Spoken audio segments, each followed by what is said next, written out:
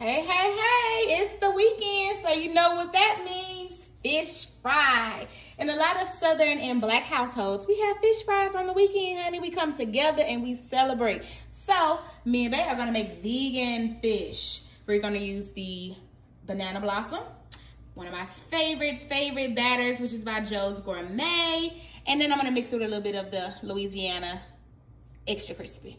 Stay tuned for the fish fry.